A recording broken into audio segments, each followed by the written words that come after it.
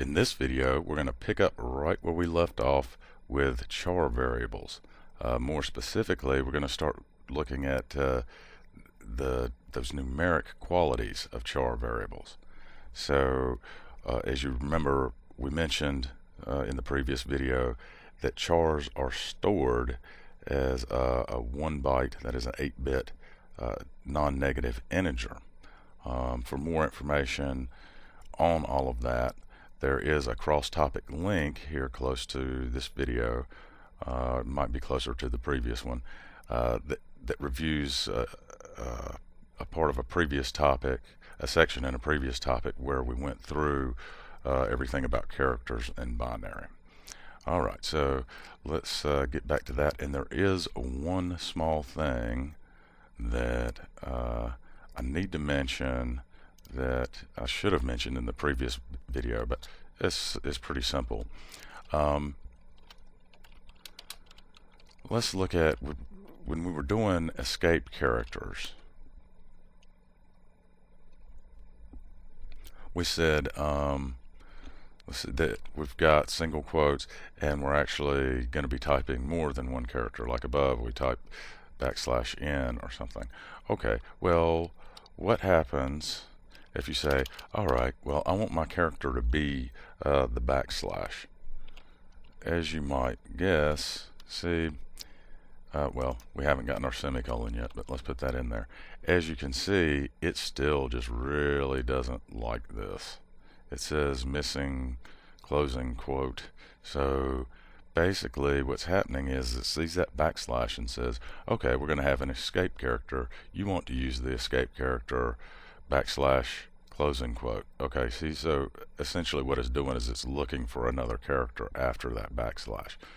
So you might be saying, all right, well, um, how, you know, how, how do I do that? Well, it was pretty simple. It's just an es escape, oops, escape character. You'll see that that clears right up. So because of the fact that escape characters are denoted by, or, you know, with a backslash, that means you can't just simply type in a backslash somewhere. You have to type in two because that's this is the escape character for the backslash. Okay, so we've covered that. Now, uh, the numeric qualities of uh, of chars. So this can get a little bit interesting. Uh, before we did things where we were going back and forth between um, we're going back back and forth between integers and doubles and we looked at you know the truncation and all this other kind of stuff. Well since a char is stored basically as an integer you know it's an integer between 0 and 255 that's a you know positive or well non-negative 8-bit integer um, you can still kind of do some of that too. Um, and in the course it talks about different ways where that can be pretty helpful, but we're going to demonstrate them here in this video. So let's, so we've got my int. So my int, okay, um, equals my char. Now that seems kind of weird. Oh, we've got it equal to backslash. I'm not sure which number that is. Well, that could be kind of fun to find out. All right. So down here, that means that my int is going to produce what? Let's go ahead and see. This will be kind of fun.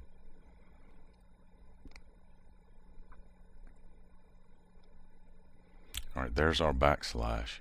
And look, it output 92. Huh. Um, that's pretty neat. Um, all right, let's go back to Again, this is uh, the link that we provided for ASCII tables. It's just the Wikipedia page. Find, uh, you know, use a search engine, find ASCII tables that are the easiest for you to read and that give you the information that, uh, that you want.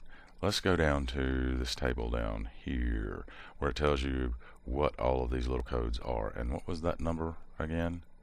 It was 92. So let's find um, 92 91 there it is. It's backslash. Right there. 92 is the backslash. So that's pretty cool. And that can become pretty useful and I will tell you why. Um, and that's going between uppercase and lowercase. Notice something here. An uppercase A is 65 all right. And so uh, uh, see lowercase is 97 so that's a separation of what 32 well if you notice it's always a separation of 32 so from going to uppercase to lowercase is as simple as uh, adding or subtracting 32 and going back and forth. So that's just one example of where you can use this uh, this this integer code uh, or this the integer value for the for the ASCII code. Um, but that's not the only way. All right, as you may uh, have guessed. Let's see. Let's comment out this line here. Then you can go the other way. That is to say, um, my char equals my int. Okay, that's going to work. Now let's see what what is my int equal? It's equal to five. Okay, so by the time we get to here, my int is going to be equal to 5. So we're going to assign that value. Remember assignment is assi assigning the value on the right to uh, the variable on the left. So, um, oops, I left the other thing running. Oh dear. Sometimes it can get wacky when you start making changes while it's still running. We'll see how this works out. Yes, hopefully there won't be any problems. There we go. Alright, press any key to continue. Huh. I'm not sure, maybe that wasn't 5. I tell you what, let's just keep this simple because you don't just have to use variables. You could just use plain old integers and say my char equals 5. Alright, so let's try again. Uh, it's still producing the same thing. What is 5 in here? 3, 4, 5.